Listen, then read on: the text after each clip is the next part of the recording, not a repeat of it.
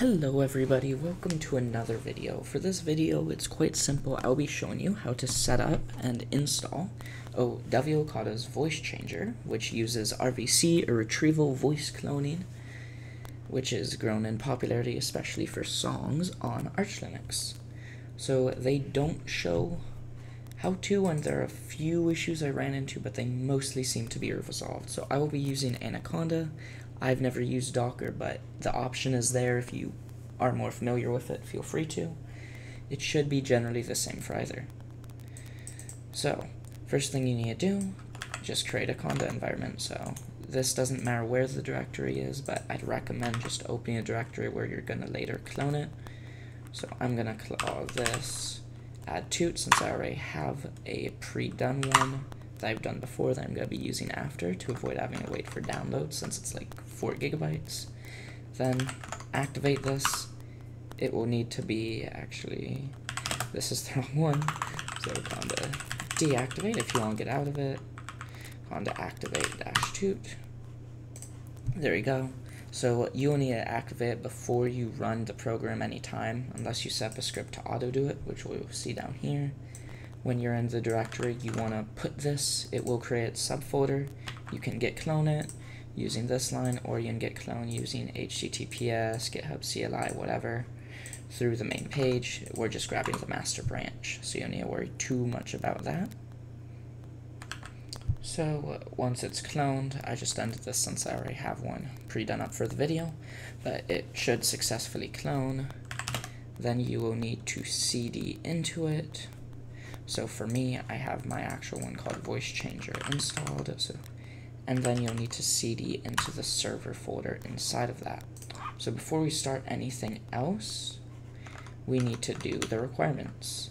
So if you go into your folder, go into server, open requirements. So change pyworld to be 0.3.4, change it to be protobuf equals 3.20.0 and that should be all you need to do.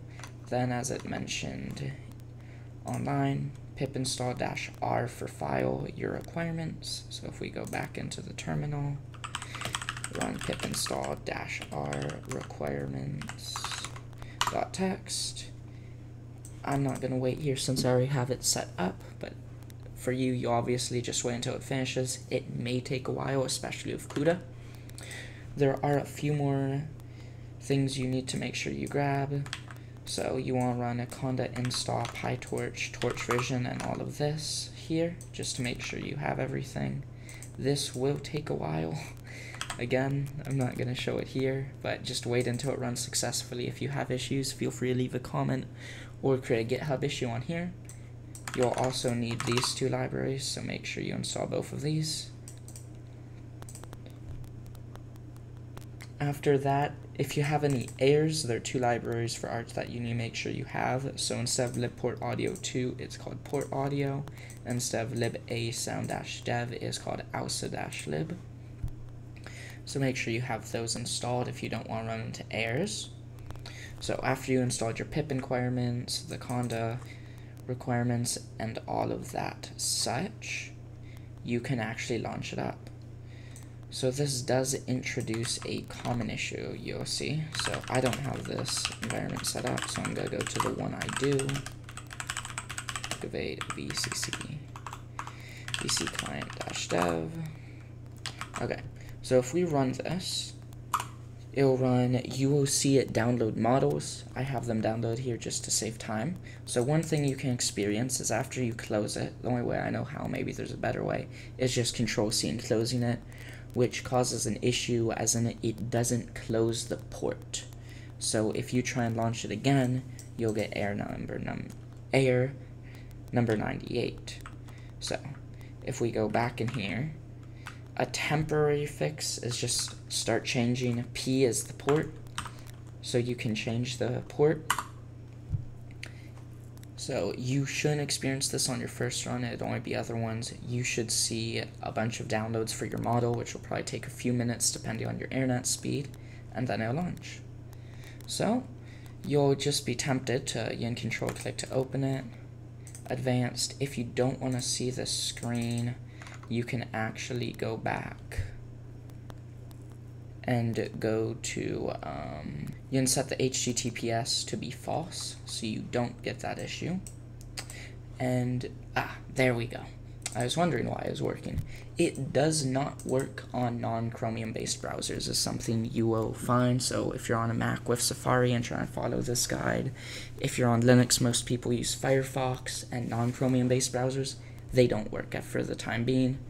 There is an issue open for it on the GitHub you can check out, but right now there's a call that makes that causes a crash. So if you want to access this, you need to go to a Chromium-based browser.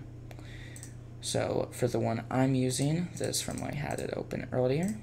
So change the port to make sure you have it correct. I'm going to use Opera, proceed to localhost, allow it, and you're done. And that's literally the entire install. You can select whatever you want. If you want to add your own custom models, you can click edit, upload one, edit the name, etc.